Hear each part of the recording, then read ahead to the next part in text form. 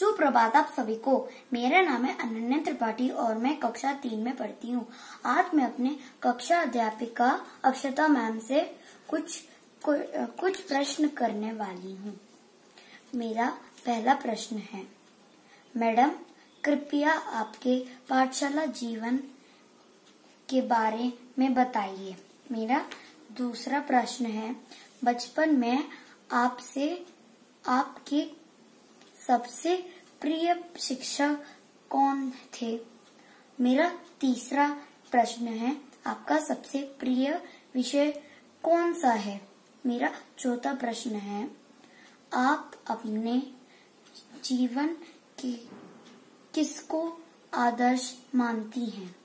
मेरा पांचवा प्रश्न है, आपको निवेदन है कि हिंदी दिवस के शुभ अवसर पर हम छात्रों को कुछ संदेश देकर अपना मार्गदर्शन करें। धन्यवाद।